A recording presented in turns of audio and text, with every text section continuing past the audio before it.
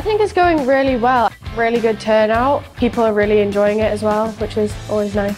I am very confident when it comes to performing and I quite like seeing people's reactions to other performers. It's really good because it's something to do, so it's always something nice for people to come together and just have a nice time.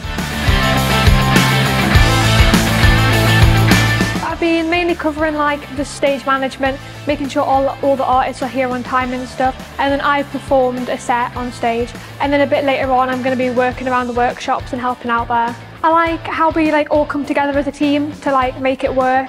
All of the community in Hexham come together to enjoy the event. The Find Festival last year was obviously in the parks, whereas this year we've got more workshops and activities for them to enjoy and more things that are probably kid friendly.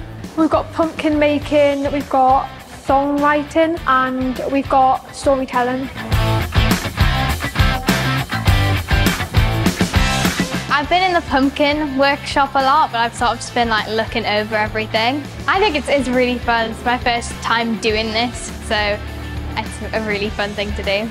It's indoors and it's in October, so it's something for people to do. And it's at Halloween. Other than Spook Night, there's not much that goes on in Hexham at Halloween.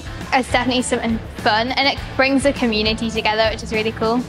I just think it's a great thing. I can't believe that we've set this up. We have been helping with sound checks and also performing. I think it's brilliant. I think it's great. It brings people together and can get people involved in other things that they might not have done. I really enjoyed watching everyone else perform and also performing.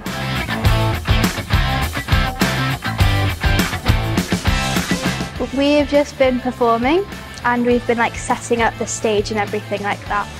I've enjoyed speaking to a lot of people about like sound technician, meeting new people and like learning more about how to perform. It gets people out and it's with new opportunities and it like people push themselves. Like I would have never performed on stage a year ago, but now I did.